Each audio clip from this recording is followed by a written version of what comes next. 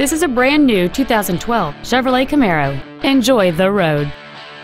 It features a 3.6-liter six-cylinder engine and a six-speed automatic transmission.